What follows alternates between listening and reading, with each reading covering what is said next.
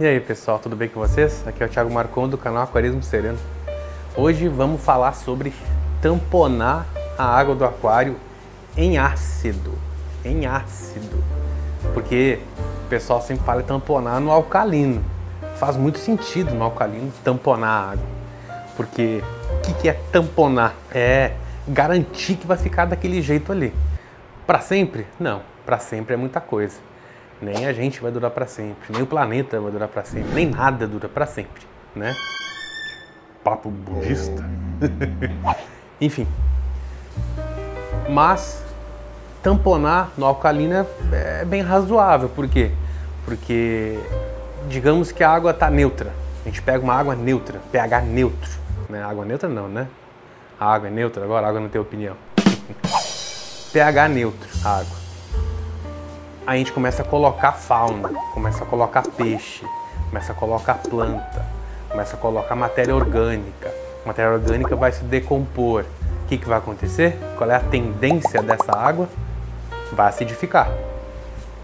É a tendência, né? Porque o empilhamento de matéria orgânica, né, a vida acontecendo, vai levar a acidificar. Com certeza, colocar ração ali vai levar a acidificar, né? Então, se eu pegar uma água neutra, eu posso afirmar que a tendência é ela acidificar com o tempo de vida do aquário. Se eu não tiver elementos alcalinizantes. O que, que seriam esses? São elementos com base carbon carbonatada, de base de carbonato, ou bicarbonato, sendo bicarbonato mais temporário, principal a base carbonato mesmo. Pedras, né? Vamos ver cálcio, magnésio, tudo isso vai ajudar a alcalinizar a água do aquário.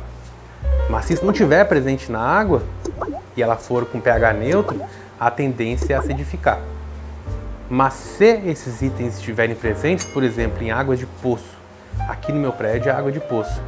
A água já vem com KH, que é a reserva em carbonato, a dureza em carbonato, reserva alcalina, já vem com KH 8. Isso significa que tem bastante elementos alcalinizantes ali. Eu sei que aqui é cálcio e magnésio. Tem bastante elementos alcalinizantes ali. Então eu posso dizer que a água do poço aqui do meu edifício, onde eu moro, meu condomínio, posso dizer que ela já vem tamponada. Já vem tamponada no alcalino. E aí lá vou eu querendo ter um aquário amazônico. E aí vem as pessoas dizendo como, perguntando, como que eu vou acidificar como que eu vou? Melhor ainda, eles perguntam como tamponar ácido.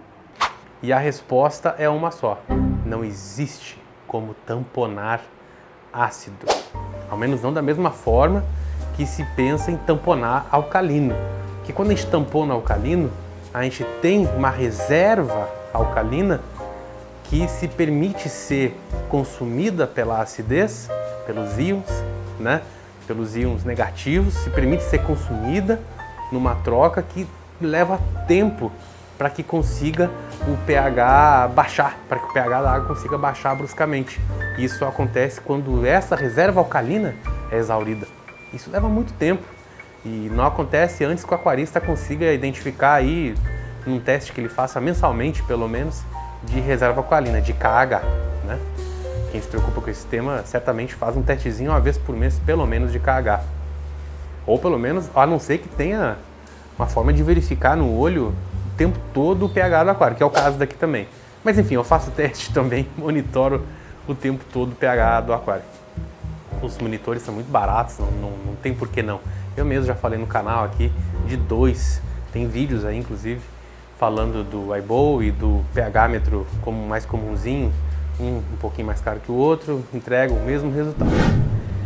Então, e agora? Eu quero tamponar ácido.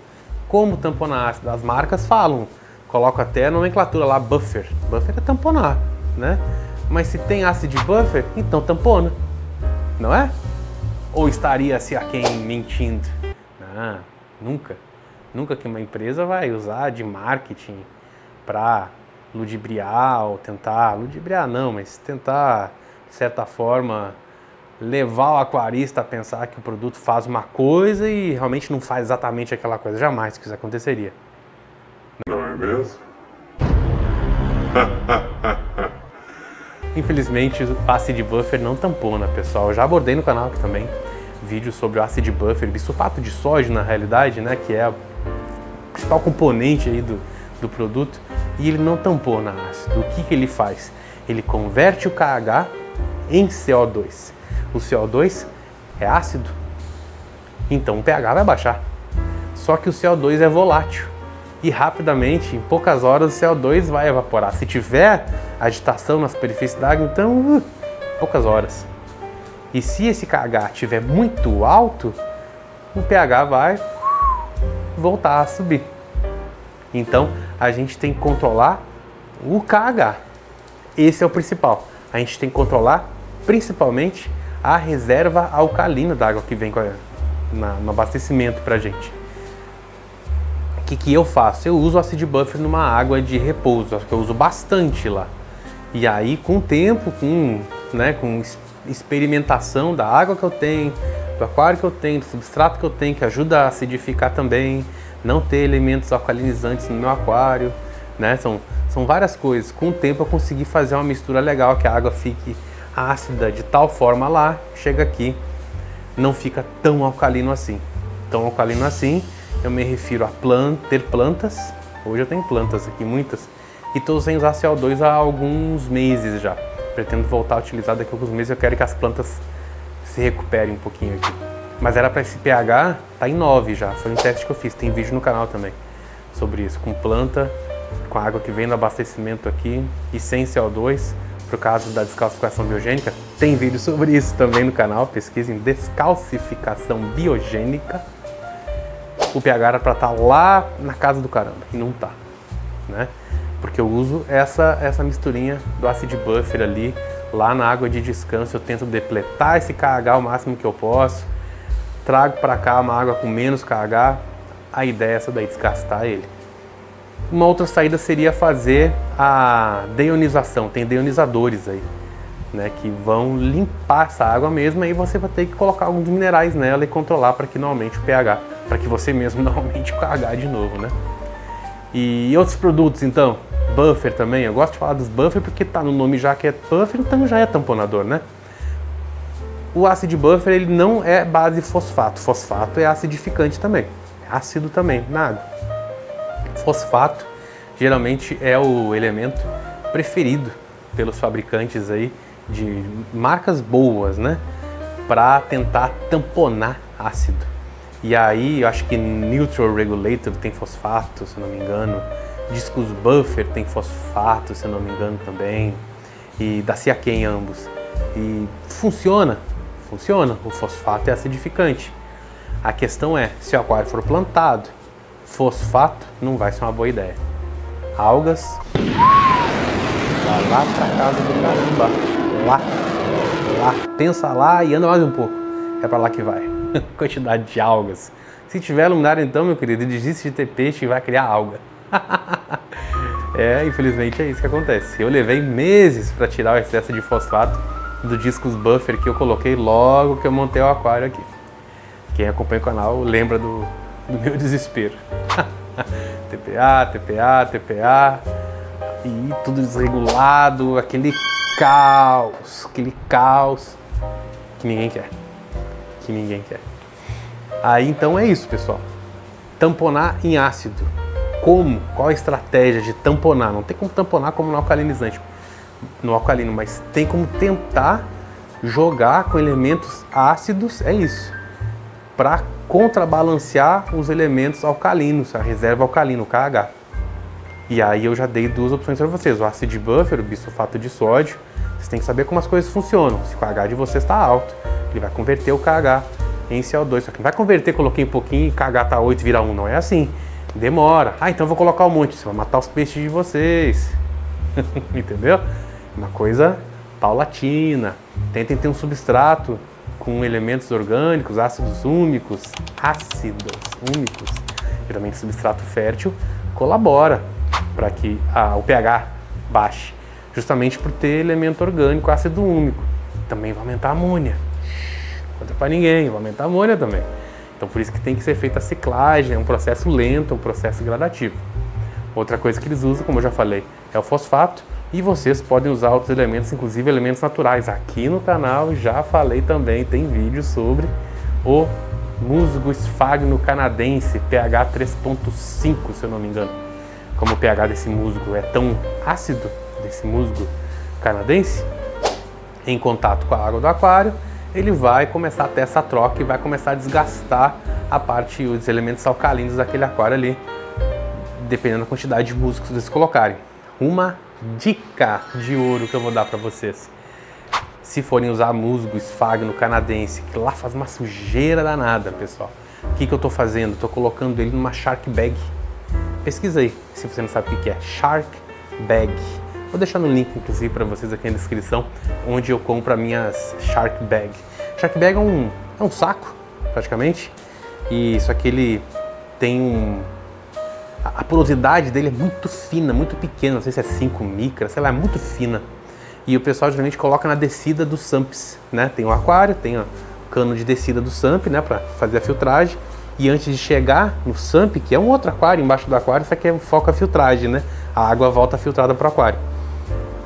Quando essa água do aquário principal cai para o SAMP, ao invés de cair direto, ela cai nesse shark bag, que vai pegar as impurezas e já a água vai mais pura para o SAMP. Essa, esse é o princípio. Eu não tenho SAMP aqui, mas eu comprei a Shark, Shark Bag para me ajudar em algumas manutenções, fazer quando eu faço uma limpeza e tal, e, e que eu quero devolver água para o aquário. Faz tempo que eu não faço isso, inclusive, mas de vez em quando eu faço. E estou usando também agora para botar o musgo esfagno ali e aí colocar ele dentro do aquário ou no rengon, né, algum lugar assim de mínima circulação d'água, mínima que seja, precisa ser muito forte não para ir tendo essa troca, a água passar pelo musgo e aí o musgo é ácido, ele vai ter um efeito acidificante. Alerta, pequeno alerta. Talvez o musgo esfagno canadense venha a deixar a água um pouco turva, um pouco cor de chá. Não foi o caso aqui, no outro aquarinho médio um pouquinho, mas vale esse alerta. E outras coisas, pessoal. A ideia de tamponar ácido, não existe tamponar ácido, eu não canso de bater nessa tecla, mas a ideia de tentar derrubar um pouco o pH da água de maneira um pouco duradoura é justamente inserir elementos ácidos ali, por exemplo, troncos tratados. Eles vão também soltar elementos ácidos tânicos, se eu não me engano, ácidos também, e que tanino, né? E que vai deixar a água cor de chá, mas vai ser mais um elemento a combater, a, a jogar, né? Ácido e alcalino para tentar puxar pH um pouco para baixo.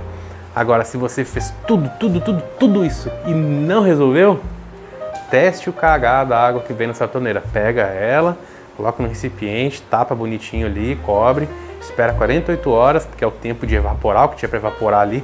Cobre com pano, né? não vai cobrir com plástico filme que não vai evaporar nada. Dá esse tempo de 48 horas e aí faz o teste e vê o KH, porque se o KH tiver alto, alto, alto demais, talvez você tenha que fazer uma osmose reversa, uma deionização da água, porque não vai ter ácido que você coloca no aquário que chegue a tempo. E talvez às vezes, pense, vocês estão colocando elementos ácidos, né? Vocês estão mudando a composição química da água, colocando esses elementos que, por isso que é um, são coisas que têm que ser feitas sempre do menos para mais. Por favor, né? Comecem pouquinho e vão aos poucos, sabe? Ajustando, porque são elementos que podem ser nocivos para a fauna e flora também de vocês pode ser nocivo. Vocês podem fazer uma modificação muito grande, por exemplo, tanto ácidos tânicos quanto ácidos úmicos, quanto quanto né, o tronco e musgo, esfagno e tal. Tudo isso pode aumentar a amônia. O substrato fértil pode aumentar a amônia. Talvez o aquário de vocês não esteja ciclado, não tenha bactérias suficiente para aquela carga. Por isso, ir devagarinho, né? Ir devagarinho. E acho que não preciso nem falar, né, que é muito arriscado dosar elementos químicos, o fosfato, o bisfato de sódio ou outros ácidos aí de outros acidificantes um pouco mais baratos no mercado.